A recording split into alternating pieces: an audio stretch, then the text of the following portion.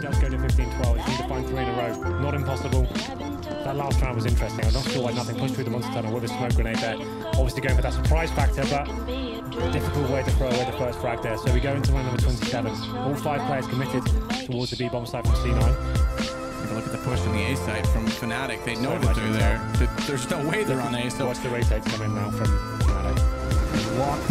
Locked off 90% of the map ultimately in this situation. And Flusha, he's just going to spray through that smoke at Monster. Knows they've got to be out there. They try and get aggressive. And Flusha, he gets all five as he sprays through with the pistol to follow it up. So an ace from Flusha. Anti-eco, mind you, but that's going to put